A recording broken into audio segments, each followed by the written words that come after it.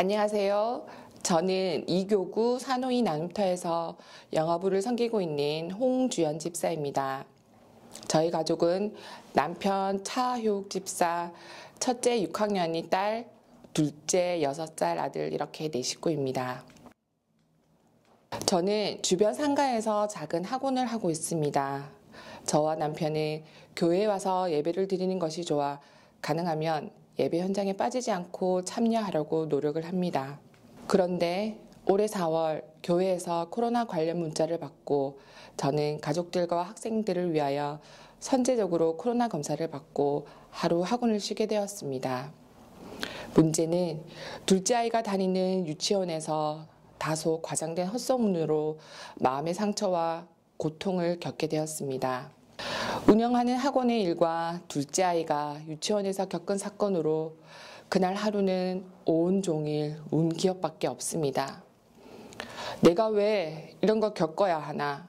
억울함, 미움, 공포 등 나쁜 생각이 나를 가득 채울 때쯤 이제 역전되리라 라는 찬양곡을 듣게 되었습니다.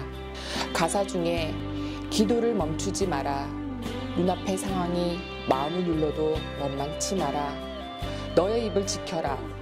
저들은 너의 입을 보고 있다. 마음을 뺏기지 마라. 내가 널 도우지 않는다는 소리에 너의 모든 게, 모든 게 불리해도 너는 기도를 계속해라. 내가 잠시도 쉬지 않고 모든 걸 지켜보고 있으니 바로 역전되리라. 라는 부분을 수없이 듣고 또 울기도 하며 한편으로 큰 위로와 많은 은혜를 받았습니다. 내 곁에는 항상 하나님이 계셨고 이 상황을 역전시키시려 열심히 일하고 계신다는 걸 깨달았던 것이었죠. 마음을 추스리며 한 달 정도의 시간이 지났을 때 갑자기 한 학생 엄마한테서 전화가 왔습니다. 애가 며칠째 아파서 병원에 갔더니 코로나 검사를 권해서 검사를 받았고 그 결과가 곧 나올 건데 양성 같다라는 내용이었습니다. 결국 저도 코로나 검사를 받아야 하고 또한 음성이 나오더라도 자가 격리를 해야 된다는 청천벽력 같은 소리를 듣게 되었습니다. 남들은 자가 격리를 한 번도 하지 않은 사람도 많은데 저는 벌써 두 번씩이나 해야 한다니 저의 상황이 너무 서글퍼졌습니다. 하지만 첫 번째 때보다 그 두려움이 덜함을 확실히 알 수 있었습니다. 그때 제가 잘 견딜 수 있도록 기도 부탁도 많이 드렸고 또 상황을 전해 듣고 물심양면으로 도와주신 분들이 너무 많으셨습니다. 무엇보다도 나를 강하게 붙들고 견디게 해준 말씀이 있었는데요. 이사야 41장 10절 말씀입니다. 두려워 말라.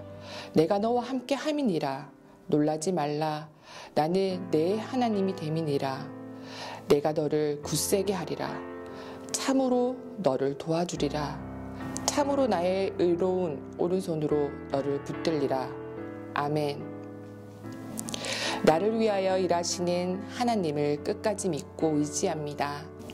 내가 우선이 되어 해결하려 하지 말고 하나님께서 일하실 시간을 드리고 그저 기도할 뿐입니다.